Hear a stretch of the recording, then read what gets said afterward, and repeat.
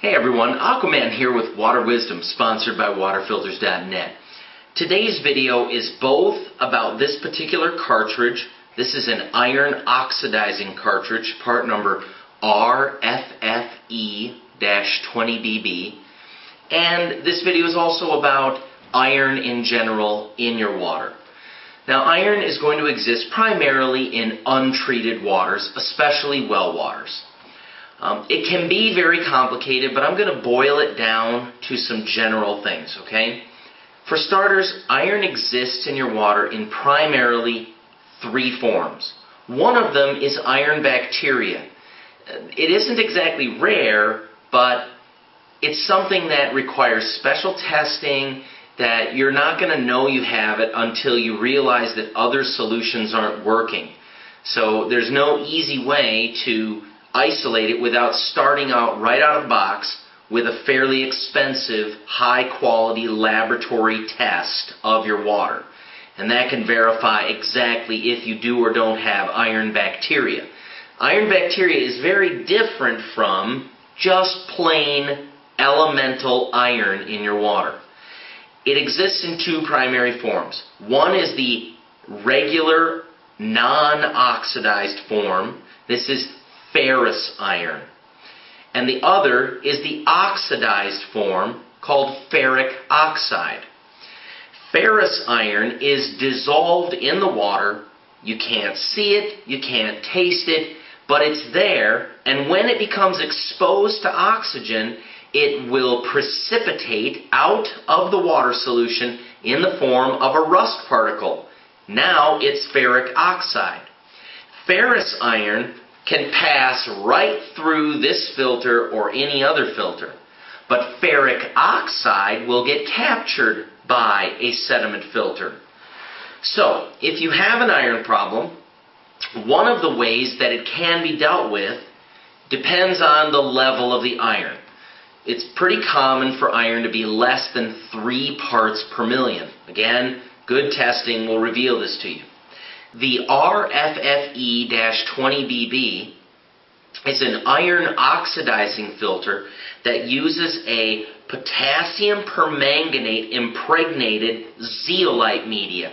It's just a microscopic uh, granule that microscopically has many intercostal spaces and it is coated with and impregnated with potassium permanganate which is a very strong oxidizing agent. So the ferrous iron enters this filter, becomes oxidized, precipitates out of the solution in the form of a rust particle, and then you have either a sediment filter like this or uh, in some cases a carbon filter that captures the oxidized particles out of the water. So your iron problem, some people come to me and they say, well I have rust in my water, and well that's not the whole picture. They've got ferric oxide because some of the ferrous iron has already oxidized and is now in particle form and can be captured. And they're seeing that in their toilets, in their dishwasher, in their washing machines, staining on their laundry. But putting just a sediment filter in will remove the already oxidized ferric oxide but then the ferrous iron that remains on the other side of the filter will eventually get exposed to oxygen and become ferric oxide and form rust particles and show up downstream after the filter. This unless you first oxidize the iron with an oxidizing filter. And then all of the ferrous iron has been oxidized and can be captured by a sediment filter or a carbon filter. Now, as I indicated, the RFFE20BB is only good up to 3 parts per million. So if you have a severe iron problem of 4 or 5 or 6 parts per million, there's no cartridge in the world that can fix your problem. You need a full-fledged tank-style system. This is a 12-inch diameter tank, 50 inches tall with one of those electronic valve heads on top And this is a system that will have an oxidizing media and it will automatically backwash itself with this valve head. A much more complex system. You're looking at a minimum of $900 to $1,000 for one of those, possibly more depending on what other peripheral equipment you need for that severe water problem. But less than 3 parts per million iron, you can use the RFFE 20BB to oxidize the ferrous iron, turn it into ferric oxide, and then capture it with another filter after this. One more minor problem. If you've got a serious iron problem, you probably have some of the iron already in the ferric particle form before it gets to this filter. And unfortunately, this RFFE20BB is going to clog much more rapidly if it is capturing all of the already oxidized ferric oxide particles. So you really need three filters to do it right. You need a sediment filter before the iron oxidizing filter, and then a sediment filter or a carbon filter after the iron oxidizing filter. Now the reason they often use a carbon filter after the iron oxidizer is because of the troublesome trio. The troublesome trio is iron, manganese, and hydrogen sulfide.